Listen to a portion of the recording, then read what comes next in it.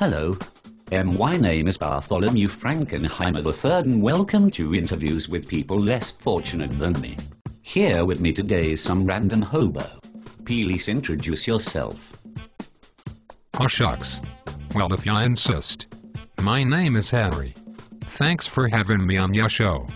Yes, you are welcome. Let us now begin the interview. So, Henry, what do you do for fun? Wheel. Mostly I play leapfrog with my buddies and the old three-legged cat Susanna. She's my wife. What in the name of Peter Pan? You are married to a cat. Most of us hobos are.